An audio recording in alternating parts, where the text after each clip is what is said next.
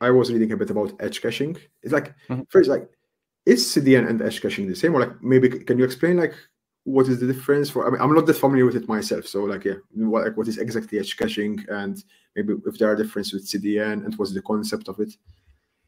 So edge caching, edge caching. Let's start with it's not a buzzword.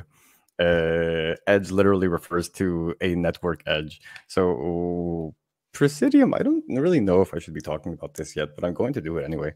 Um, you don't have to. Don't feel obliged by them. Just you can explain the concept in general. You don't have to. It's up to you. So the way to explain the concept is explaining it from our actual work, though. Mm. So what we're working on now, and it's going to be coming out very soon, is uh, edge caching provided in a sense, kind of, not really though, kind of how it's done by Cloudflare. I'm only using that example because it's better known throughout the ecosystem.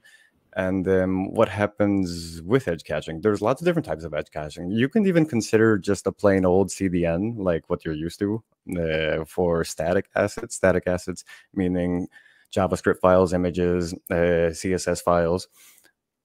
Yeah. So in a typical old CDN situation, you have that stuff uploaded somewhere to this network of lots of nodes, and you have those nodes in lots of places around the world, uh, lots of providers it, and your static assets will be closer to the person trying to access your website.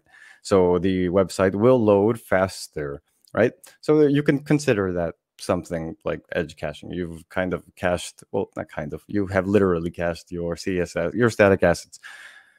What's missing is a page cache, uh, actually, the actually generated HTML. So PHP doesn't have to run uh, on WordPress, or so you don't even have to reach the caching engines or caching layers that your hosting provider might provide because everything's in layers. There's the edge that we talked about before. Where's my hand?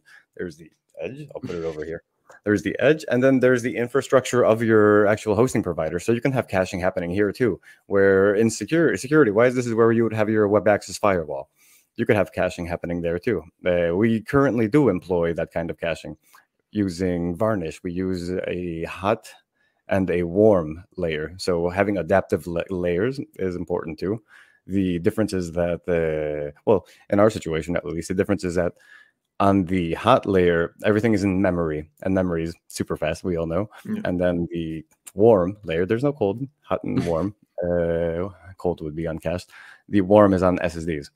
Um, edge caching pushes it even further, even closer to the client or the person trying to access the website.